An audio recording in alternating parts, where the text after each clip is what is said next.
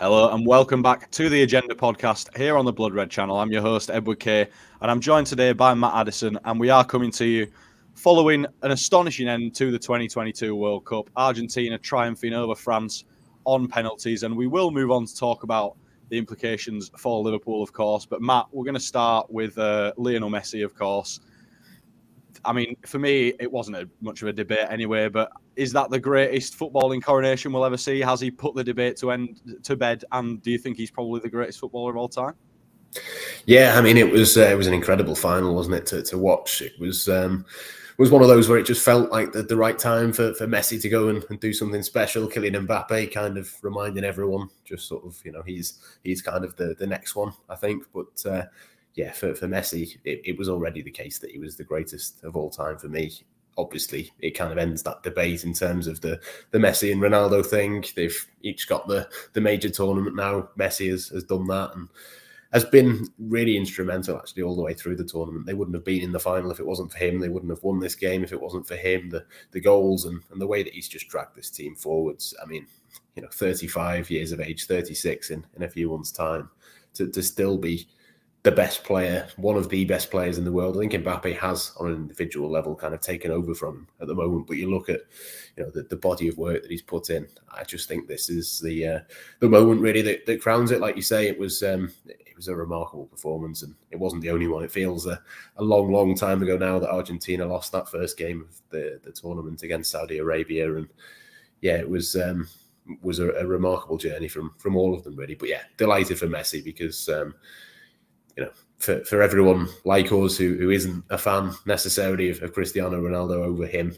uh, I think this kind of just puts it to bed really and, and once and for all the, the greatest. There's there's other people as well in that conversation as well as Ronaldo and Messi, but you know for, for people of, of our age in particular, we've seen those two battle it out, and I think that uh, yeah that that just puts a, an end to it really, and we uh, we don't need to, to have that conversation anymore. Though I'm sure Piers Morgan will try. Yeah, it was the uh, the perfect storybook ending that I know a lot of people out there were were hoping for. And we'll stick with Argentina and the success story from tonight for now. Obviously, Enzo Fernandez, a player there's been a lot of talk about, a lot of talk from uh, Liverpool related uh, publishers as well. Obviously, there were reports from Argentina um, earlier on during the tournament that there might have been a deal agreed with Liverpool. Obviously, those were only reports. And I mean, hopefully the the price was already agreed, Matt, because him winning Young Player of the tournament's not really going to help Liverpool there, is it? Yeah, I've been really impressed with him. Obviously, we don't get to, to watch Benfica week in week out, but apparently has been been really really good for them, and I think he's you know been one of the the better players for for Argentina, particularly when France were playing poorly this evening. I think you know he was was one of those that just kind of helped them dominate that midfield.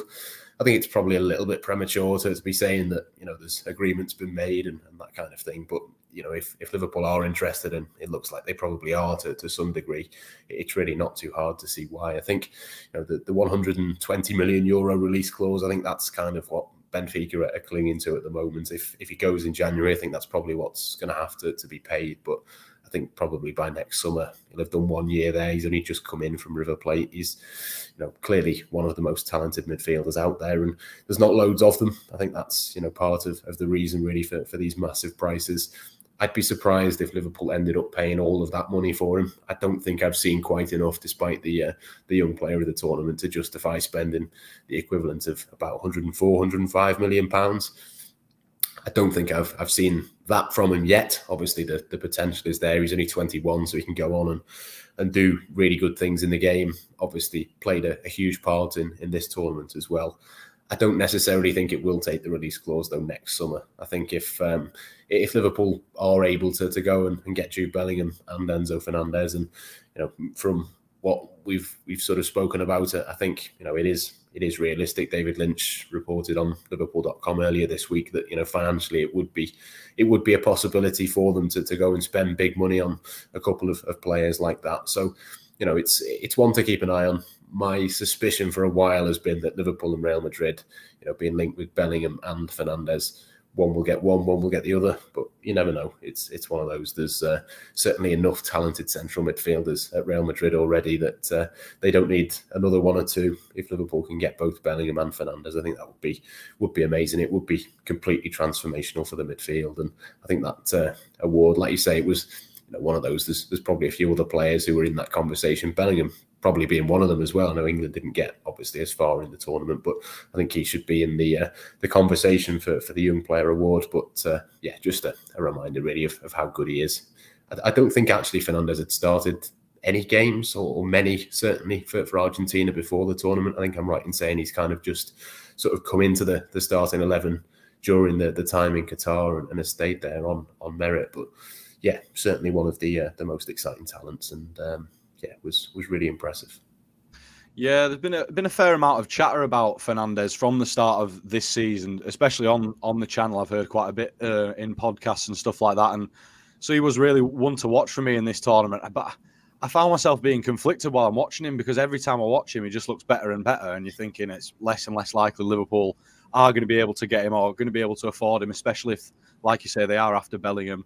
Getting both does seem a bit unrealistic, at least with the current ownership anyway. But we'll stick with Argentina for now. And um, I found myself in in this final. Obviously, there's been a lot of success in this tournament from teams playing in a low block and with a more defensive style, as you do tend to see in international tournaments. If a side like Morocco wants to go far, or some of the minnows of the tournament, they are going to have to play in that style. But Argentina tonight, when they came out of the blocks, it was just a reminder of what really high intensity pressing football can do to a side. Because obviously France just looked shell shocked, and it was it, it, reminded me of how Liverpool will often sort of come out of the blocks and you know shock opponents like that. So do you think it was a good reminder of uh, just how much better you know high intensity pressing football can be on the international stage?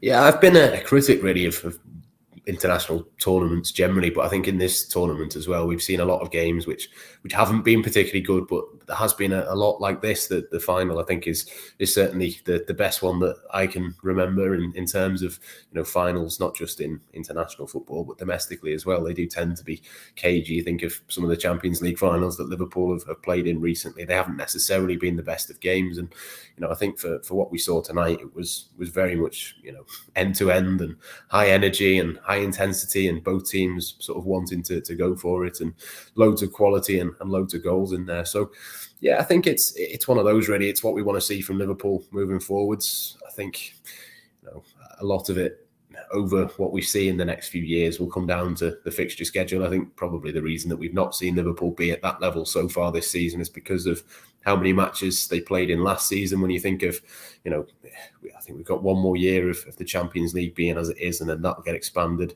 talk this week of a Club World Cup coming in, so a 32 team tournament once every four years. I think in the uh, the summer there's going to be more and more matches, and we've got a piece actually on Liverpool.com going out over tonight that David Comerford's written for us, and he's worked out that you know when you factor in all of the tournaments, all of the uh, the games that you know players at the top end, say Liverpool and Real Madrid, and you know all of the teams that that possibly could go all the way in the um, the, the, Champions League and have, you know, maybe Club World Cup ambitions. Maybe we'd have players that go all the way in these competitions. You could be looking at you know, upwards of, of 80, 85 games a season for, for some of these players if all of these changes that FIFA and UEFA want to, to take place come in. So I think that's a, a bit of a concern, really. We want to, see all of these games and we want to see all of these players playing their intense football. But I think Liverpool games probably a, a, classic example, really, a real warning of what happens when you play, what was it, 63 times last season? I mean,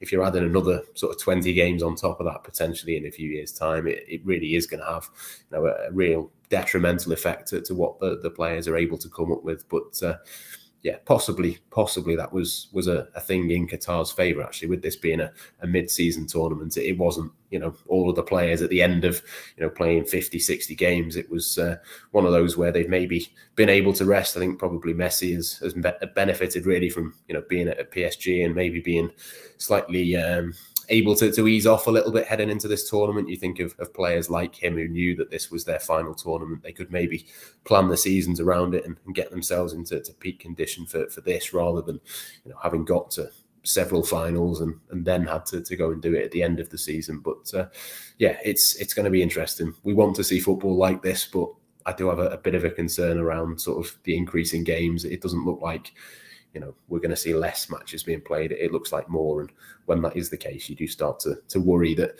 maybe games like this will become less frequent. But hopefully not. And there is still obviously a lot to, to be decided in terms of that.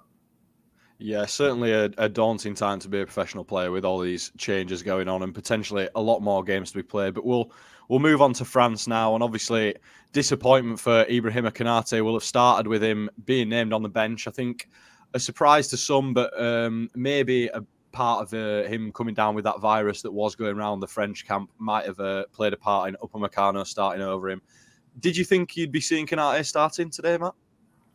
I thought there was a decent chance, but uh, it wasn't a massive shock, I don't think, just purely on the basis of Upamecano has played pretty much whenever he's been fit and, and able to, and, and Konate's only really come in when when there've been injuries elsewhere. Rafa Varane missed the, the first couple of games, I think, didn't he? Or, or, missed the first one and then came off in the, the second one. And, and Konate had minutes there. But I think he's, honestly, I think he's been one of the best defenders at the tournament. I think it's it's really, really strange that they didn't start him. I don't think the game would have gone any differently. I thought Upamecano was was actually really good tonight and, and did, you know, a, a, lot of, of good work back there. Varane did as well. Obviously, ran himself into the ground and, and only when he couldn't run anymore did Konate come on. But yeah, it was uh, was a little bit strange. I think that the performances would have justified the, the Liverpool man coming into the team and, and being able to, to play in that match. But yeah, I suppose it probably wouldn't have made a huge difference ultimately to the result. I think I think it was a good thing that he was able to, to come on. Obviously, if the game hadn't have gone to extra time, it, it would have been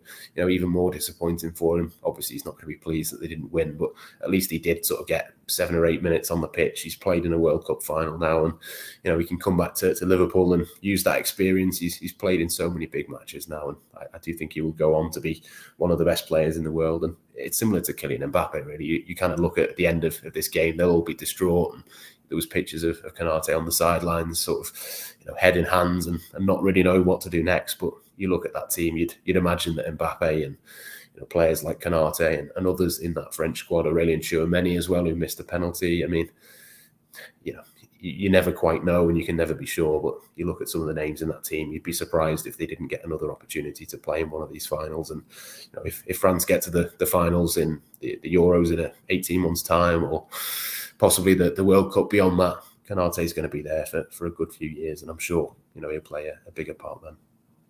Yeah, as you say, he did manage to get on in extra time, but obviously not much he could have done to affect the result at that point. I was sort of waiting to write the questions around would they have been better off with Konate starting because Upamecano had looked shaky at points in this tournament, but like you say, I think he actually had quite a good game tonight and probably wouldn't have changed the outcome that much. Konate starting, but you mentioned the experience he'll take from this. He's now probably, if you discount the Euros, maybe he's probably lost the two biggest finals you can play in in football, having obviously lost the Champions League final and the World Cup final now. Obviously, that'll be a great disappointment to him. But do you think he'll that'll be sort of a formative experience for him as a, as a young centre back coming? Will he be able to bounce back from losses like that? Do you think? Yeah, I think so. I mean, he, has got plenty of time ahead of him. Like I said, he's he's one of those players that has really really impressed me since he's come in. He's been you know far far better than what I thought he was going to be for, for Liverpool, and there's still loads more opportunities for him to to go on and impress. I think he was one of the better performers for Liverpool in the Champions League final. As I've said, I think he should have played you know a bigger part in this final, but it wouldn't have made a huge difference. I think if you're a player of, of his level and with his ceiling, I think you've just got to relish these opportunities and, and, take them when they come. There will be more opportunities for him in future. I think he'll get better as a result of of being in these finals. And you know, you think of, of how well he played in Paris for Liverpool. Again, didn't work out for him, but he'll be stronger for, for that. I think again, similar to the World Cup and the Euros, I think there'll be uh, there's, a, there's a decent chance that he'll go on and, and, play for Liverpool in another final, and you know it, it, just gives you that extra extra bit of motivation, doesn't it? So yeah, I think all of these players that the experience, you know, it, it wasn't as if it was anybody's fault. You know, it, could have gone either way. It, went down to penalties. It, it, was almost unfair, really, that the game was so good, that the standard of, of, football and the quality was so good to to take it down to, to spot kicks to, to see who wins is is kind of unfair. But at the same time, it wasn't a mistake. It wasn't anybody's fault that you know it, didn't go their way. And, and Konate, I think, is is only going to benefit from that. So yeah, it, would be, be disappointing for him in the short term, but. Uh, yeah, possibly it could be could be one of those where he comes back and wants to, to prove a bit of a point. I think you know, Liverpool will benefit generally from the, the World Cup. He's the the one really that you'd look at, but again, he, he didn't play a huge part. I don't know how how down he can be. It, it almost maybe works in Liverpool's favour, given that they've lost, that he didn't play a huge part in it. I'd be a little bit more concerned if he'd been one of the, the main men and, you know played 90 minutes or 120 minutes as it was. But uh, yeah, it's one of those. I'm sure he'll get over it, and I'm sure he'll have plenty of opportunities to impress in future. Yeah, plenty more opportunities to impress for him. There definitely will be. Obviously, he's probably going to be battling it out with uh, now fit again Joel Matip for the starting position alongside Virgil van Dijk once Liverpool come back. Obviously, not in the uh, Manchester City game on Thursday, as Jurgen Klopp confirmed he will be giving all Liverpool players who participated in the World Cup a week off, so he won't be available for that one, I would imagine. But that is all we've got time for today on the agenda. So for now, from myself and from Matt Addison, it is goodbye for now.